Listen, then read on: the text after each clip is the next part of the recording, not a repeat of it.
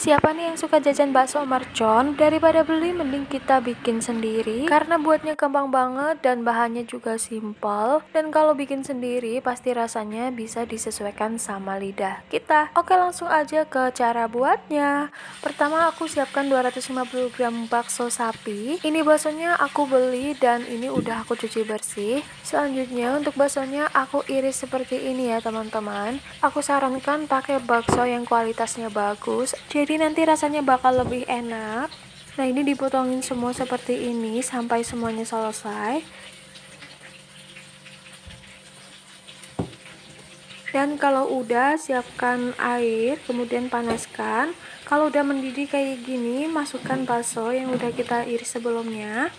Ini kita rebus sebentar aja ya teman-teman sampai baksonya mengapung, mengembang dan merekah seperti ini kalau udah bisa matikan api kompor, kemudian tiriskan atau bisa dibuang airnya. Lanjut siapkan 6 siung bawang merah, kemudian ada 4 siung bawang putih, selanjutnya ada cabai rawit, aku pakai 3 dan ini 11 cabai keriting.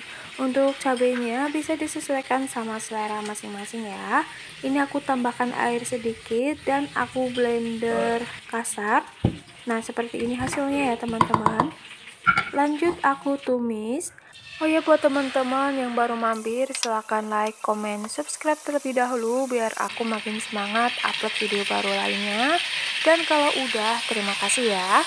Ini bumbunya ditumis dulu ya teman-teman sampai tanak dan baunya harum.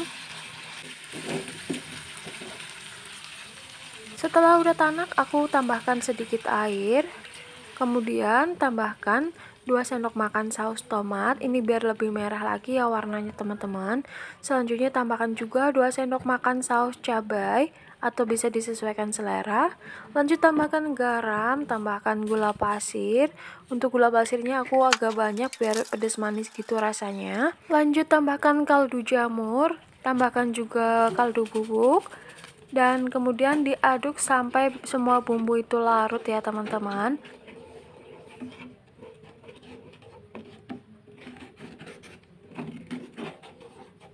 Kalau udah, kita masukkan bakso yang udah kita rebus sebelumnya. Lalu kita masak sampai airnya menyusut. Ini diaduk-aduk dulu ya teman-teman, biar bumbunya merata ya. Dan jangan lupa koreksi rasa ya teman-teman. Bila ada yang kurang, tambahkan sesuai selera.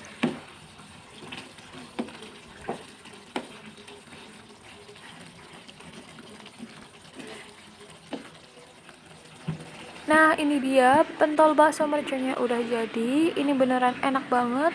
Terima kasih sudah menonton, selamat mencoba dan semoga bermanfaat ya. Jika kalian suka resep ini silahkan share ke media sosial kalian. Terima kasih, bye-bye